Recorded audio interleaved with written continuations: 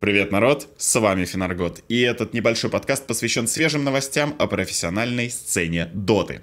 Как вы знаете, про-сцена не стоит на месте, и э, Valve периодически меняют ее. Все-таки Дота в каком-то смысле родоначальник киберспорта, и, следовательно, должен двигать прогресс в плане развития лиг. Э, когда-то это были просто интернешнлы, но в 2015 году все изменилось. Появились мейджоры, если вы э, не помните. Собственно, первый мейджор того сезона я и посетил. Он был во Франкфурте. Э, и я вот сегодня пересматривал видео, у меня прямо Слезы появились на глазах, ведь я присутствовал при первом триумфе команды OG. Можете, кстати, найти ролики на моем канале. Это была моя первая вылазка вообще на какое-либо Dota мероприятие. Собственно, в следующем году Valve изменила немножко систему, мейджоров стало меньше. А вот в 2017 году ввели DPC-систему. Она вам всем знакома. Заключается она в том, что есть миноры и мейджоры, ну и, собственно, команды э, борются за очки, благодаря которым могут потом попасть на International. Ну, понятно, помимо, собственно, отборочных на Инт.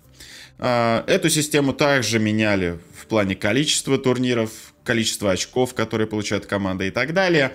Но вот сейчас все должно кардинально измениться. Об этом сообщил портал Liquid Dota.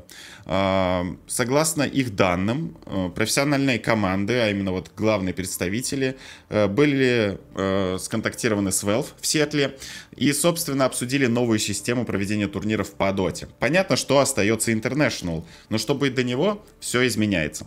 Во-первых, мейджоров теперь будет не 5, а 3, и миноров вообще больше не будет. Зато будут введены региональные лиги. Э, собственно, скорее всего, все э, шесть регионов, которые были до этого, они и останутся. Ну, это понятно. Э, Южная Америка, Северная Америка, Китай, Юго-Восточная Азия, Европа и СНГ.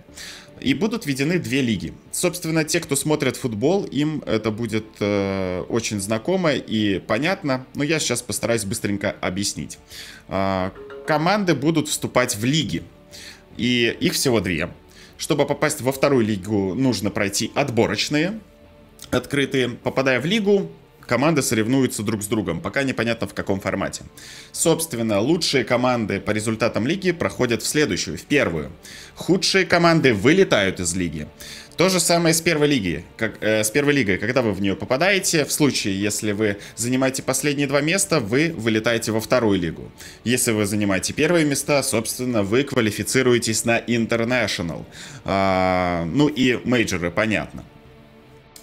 Основываясь на этом, будут как-то э, получаться DPC очки. Пока точно неизвестно как, но, в общем, примерно система будет таковой. А, в чем плюсы главные. Во-первых, если, к примеру, команда решила из региона А перейти в регион Б, она не может просто взять, э, там, попытаться, у нее не получилось, и потом вернуться в регион А. В случае, если команда выходит из региона А, она теряет все преимущества, которые были там заработаны. К примеру, э, команда была в первой лиге, решила попробовать в другом регионе, там не получилось, решила вернуться, нет. Если хотите вернуться в предыдущую лигу, точнее, в предыдущий регион, опять Э, проходите отборочные, чтобы попасть во вторую лигу. Играйте во второй лиге, чтобы попасть в первую лигу и так далее.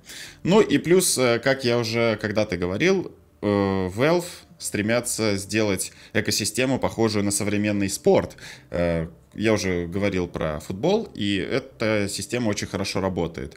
То есть э, мейджоры это теперь больше, как можно сказать, Лига чемпионов, да, в каком-то смысле, ну или такие э, региональные турниры, а вот International самый главный турнир года. Ну или да, можно сказать, что International скорее Лига чемпионов, а мейджоры это такие э, предыдущие турниры, которые помогают командам собраться и выявить прямо лучших.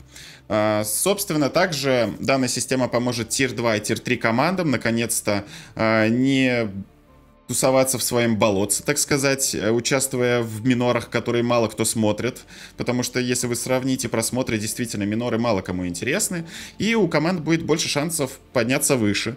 Э, собственно, скорее всего, со всеми этими изменениями последуют изменения касательно э, состава команд, там нельзя будет определенным образом, наверное, выгонять игроков, брать новых и прочее, прочее, прочее. В общем, нас ждут прямо грандиозные изменения. Они будут, собственно, внедрены после 2020 после 2020 International.